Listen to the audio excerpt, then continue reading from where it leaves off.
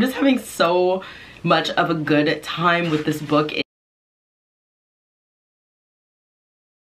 Yep, that was a sex scene. Today marks the start of a very exciting video where I get to read one of my most anticipated fantasy books and that is The Faithless by C.L. Clark. This is our non-binary book club pick for March and Becca, Becca in the Books, is co-hosting. I'm just so freaking excited. I will be interviewing CL Clark. It's just gonna be an amazing, amazing time. If y'all are not following my book club, it is linked down below. You should be. What is my dog tearing up? But without further ado, let's just get reading. What is up, y'all? So Jesse is right and sick. It has been a couple days and uh, we're currently doing some pop-up reading sprints, read with me um, sprints with the beautiful patrons because I am sick. So I've just spent the day organizing and doing stuff around the house that needed to get done.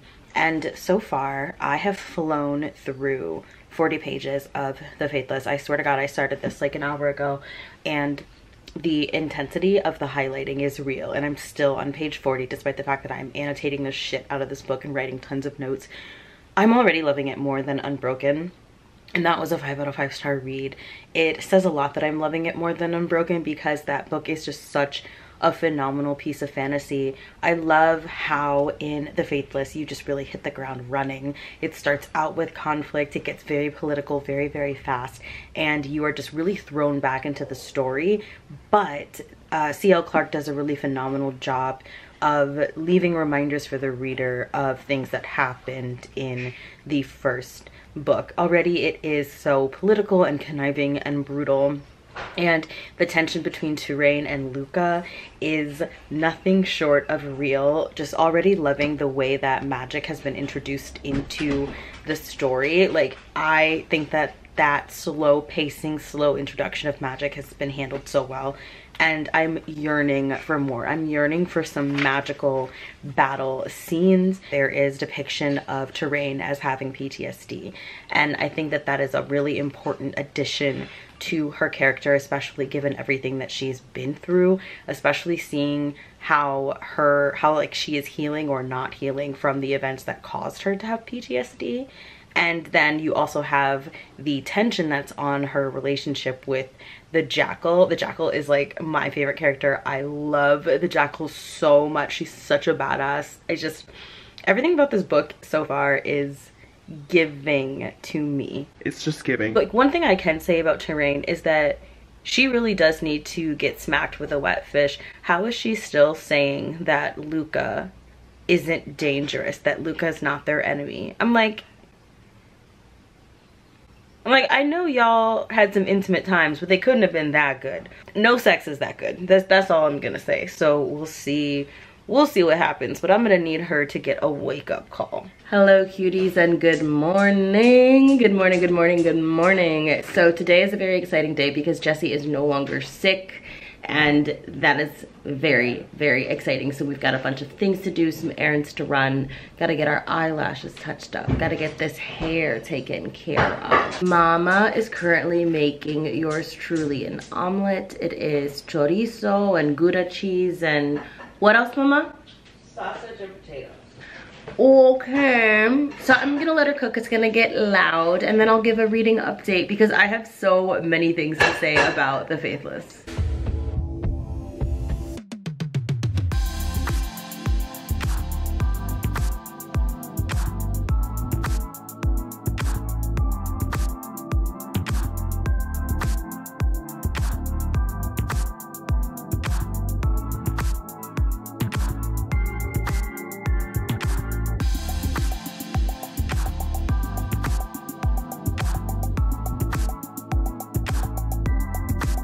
So pretty. Thanks, Mom.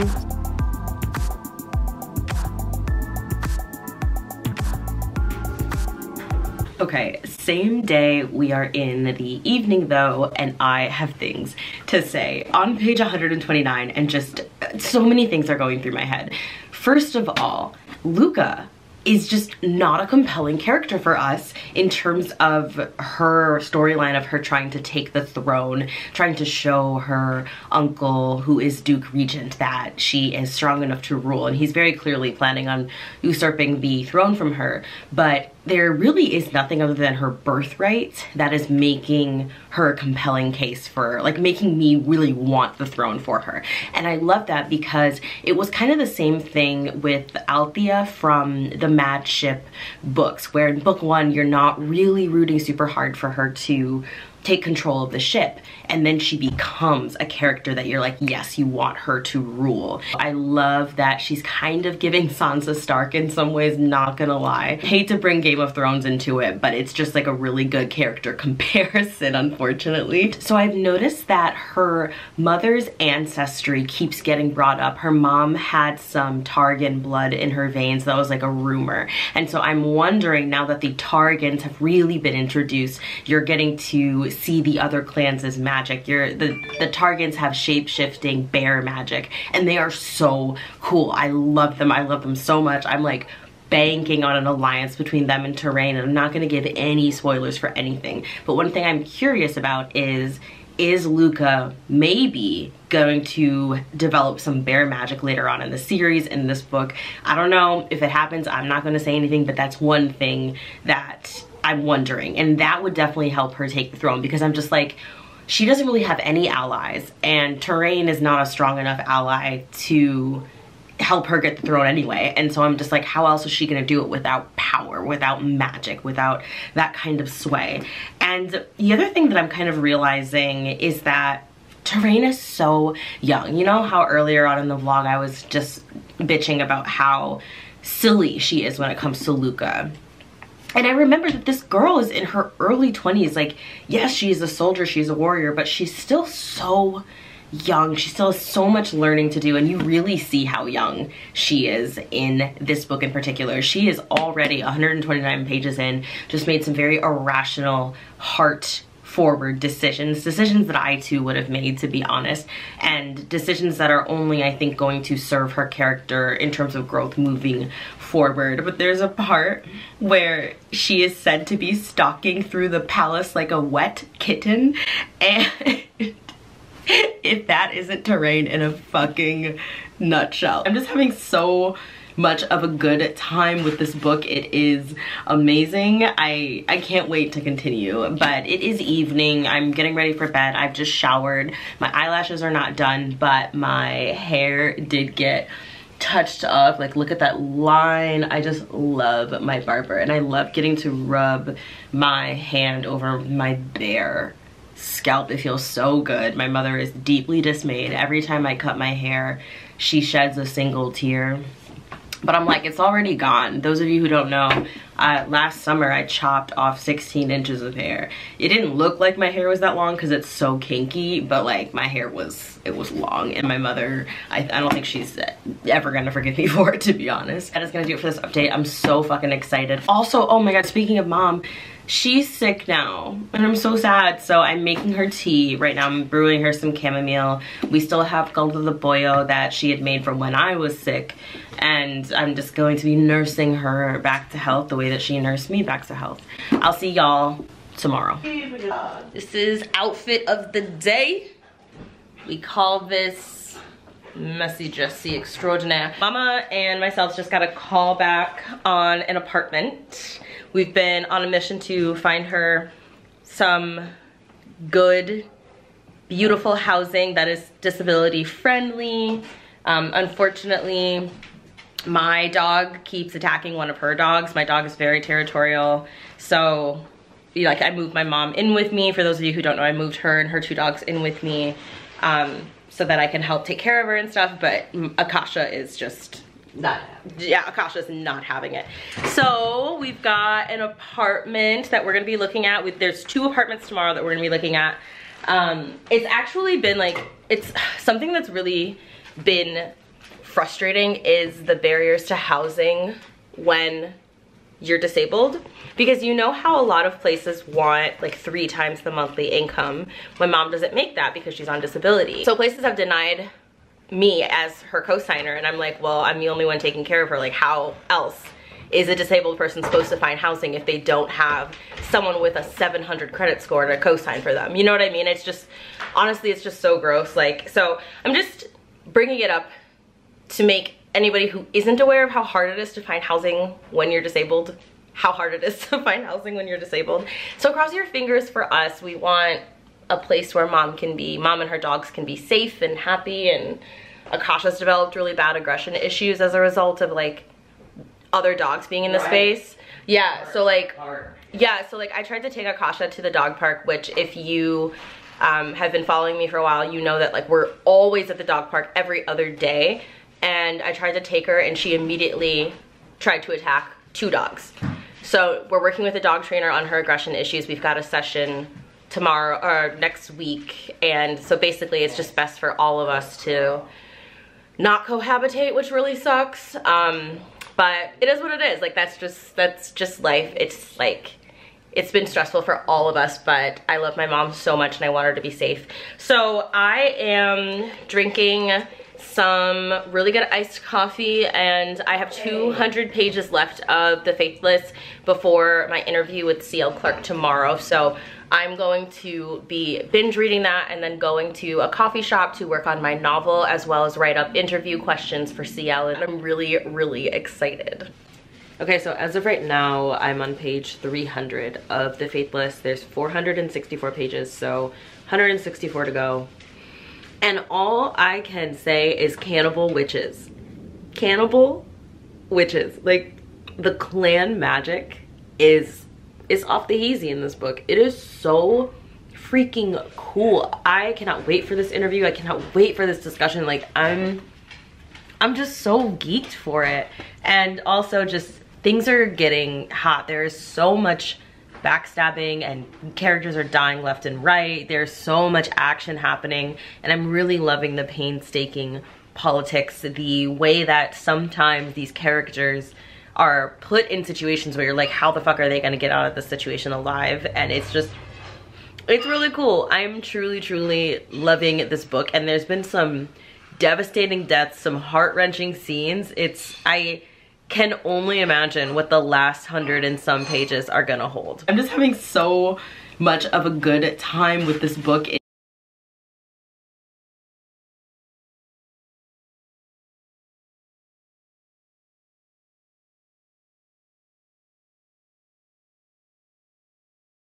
We're about to have a Schitt's Creek moment with our caldo de pollo. Um, yum, yum.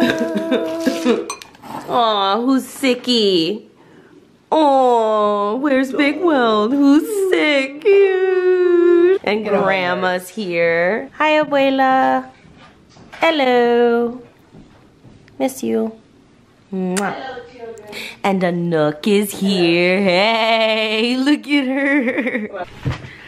Damn, y'all. C.L. Clark said, y'all asked for a sex scene, y'all gonna get a sex scene. That threw me off so much.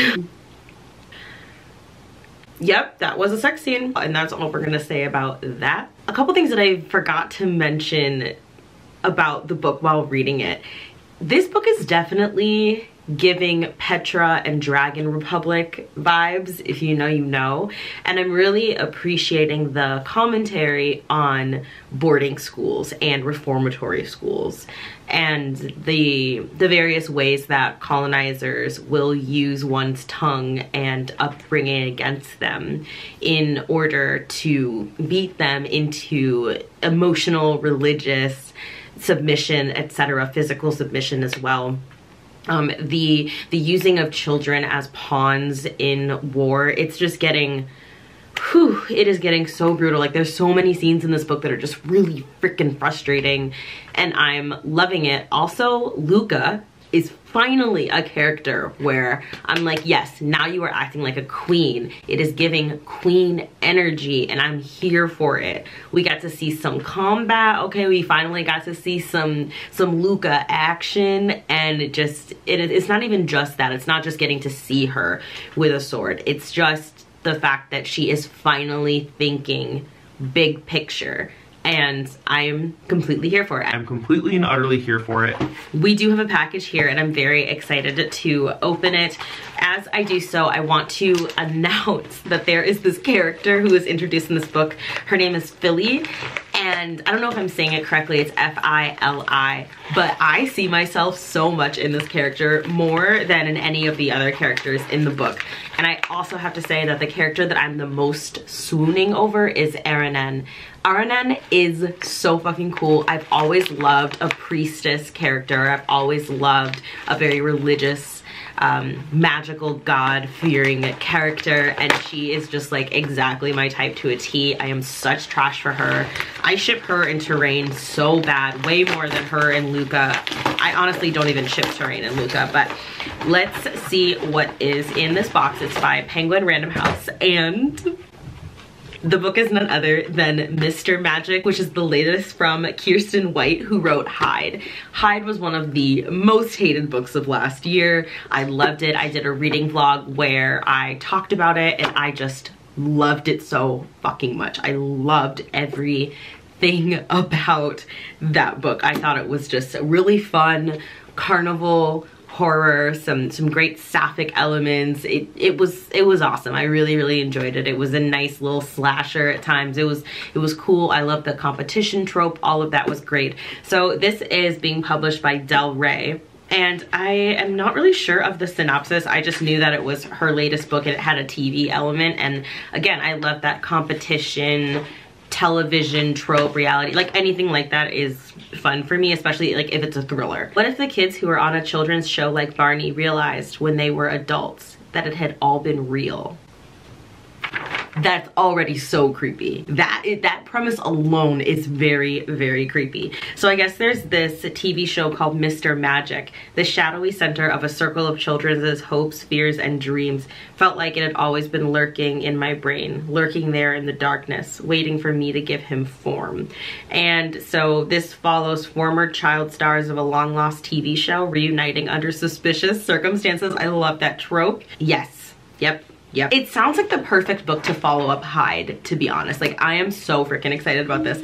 And I'm now going to be opening, like, something that is spicy. I am so excited about this. You guys are gonna be like, what the hell is happening on this channel? But y'all will probably know that I recently did a video where I was in the bathtub reading smutty scenes from books with sex toys because it was sponsored by a sex toy company and I thought it would be really funny if I um, took out one of the vibrators and, and read the sex scene aloud and for every, I would increase vibrations on the vibrator just holding it in my hand, not actually using it, you pervs. In accordance with the spiciness of the scene. And I was using a vibrator as a microphone and at one point I was smoking a Q-tip. It was a whole thing. And increase vibrations depending on how spicy. I feel like a kinky librarian. Oh! All right, you get I am your father. fluids everywhere. I'd like to report death by heat stroke. I need to open a window. Help me. Oh. Why are girls so hot? That is a sex scene. So um, apparently another sex toy company saw that video was like, hey, will you make some sponsored content for us? And I was like, oh my God, here we go. So this isn't the content, but this is going to be a sneak peek of what they sent. And I am super excited because I have a fun Instagram post planned using this content. And so because of that, I very intentionally picked out the most like wild looking toys that they had because my concept for the Instagram post is basically going to be books that match the vibe of the vibrator. So it's gonna make sense. So you will see it. Okay. All right.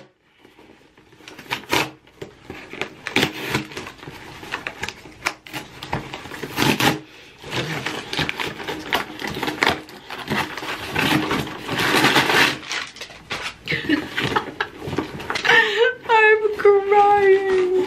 I'm crying. These are gonna be so funny. I can not. I literally cannot. This is so funny. So this the the third one is currently on its way, but I have two, and this one is this is what this one looks like. And so I picked it because it's really wonky looking. And so I'm going to be pairing this with books that have like a psychedelic feel to them. Uh, so I'm really excited for that Instagram post. Look how adorable it is. This is so freaking cute. this is what one of them looks like. When I saw this one though, I was like, mm, described as a tentacled and twisted sea monster who's ready to inhabit your deepest depths. I'm in fucking tears, you guys. I'm in fucking tears. Obviously for this one, I'm gonna be pairing it with like deep sea aquatic horror books and I'm really excited about that.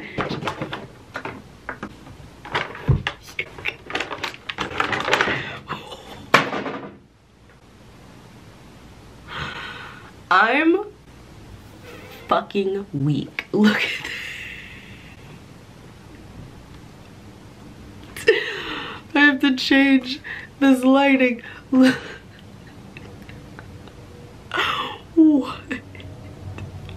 Why is it so squishy?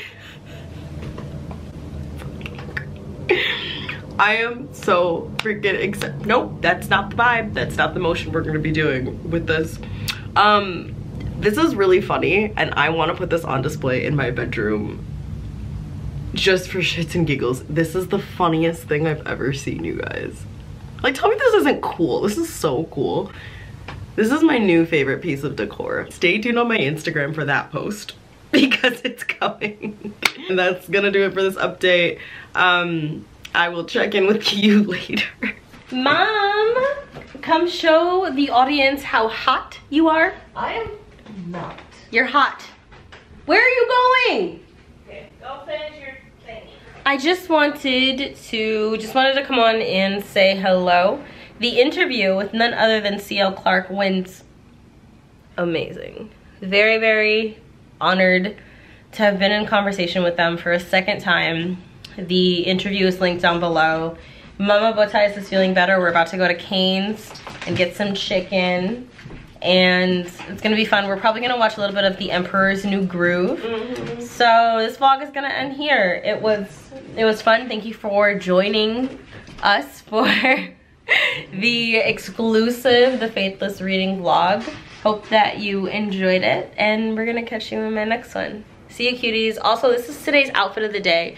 All of these items, including the boxers that I'm wearing, not pictured here, are from a genderless woman and queer owned clothing company called Bow something. Beautiful or something like that. Love it, love it, love it. A, a, uh. Okay, what's? My mom is like, what the fuck are you doing? Hello friends, hi, hi, hi. I had to come back and say that we have very, ew, Jack. Jack is making gross sounds over there. Did you just take a sip? Are you making me wait? Yes! We were gonna have it together on Let's camera. get on it. oh my god. Celebrating. Anyway, we are celebrating the fact that we just got word that my mother has secured her very first apartment. And so we're having some celebratory beers. We're so excited. Solo apartment. So, yeah, solo, like her own place. Nobody else is on the lease. It's Right. just mama. She can decorate it however she wants. It's gonna be dope. So we're having some. We're having some celebratory Heinekens. Cheers! Hey. I'm so happy for you, Mom. Congratulations. Thank you. Thank you. I love I'm you. so happy. You're so happy. You did so good. Thank you. Thank you. I appreciate yeah. that. Hey! You raised me so well. I think the dog's happy too. Akash was like, yay, you move out. I get my house back. Yay. Yay. Yay.